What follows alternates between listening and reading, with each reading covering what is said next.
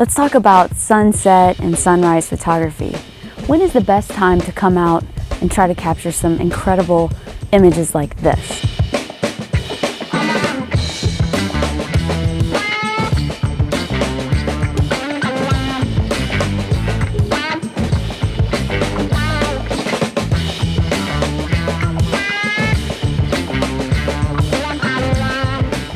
You typically want to come out when it's partly cloudy skies. If there's nothing but cloud cover, it's going to be really difficult for the sun to come through and allow some of those beautiful colors to penetrate the clouds.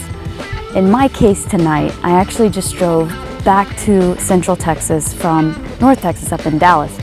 When we left Dallas, it was like 33 and sleeting, and we essentially got in front of this front that is heading down towards uh, the Texas Hill Country, which is where I am now.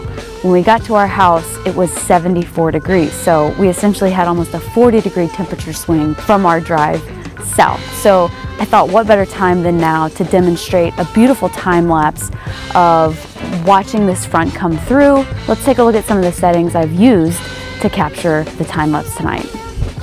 All right folks, so I've got the Atomos Ninja 5 out here and I'm opting to use a nice wide lens, so 14 millimeters because there's a lot going on in the sky right now. So I really want to have a nice wide field of view.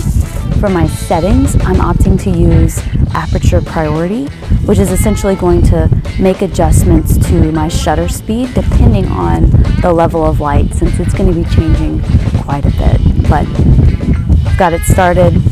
Let's see how this turns out It's crazy right on cue, the wind has picked up in a significant way. So I'm excited to see what this time, time lapse looks like with particularly the water and some of the reflections from the clouds. Let's see, we're gonna try to let it go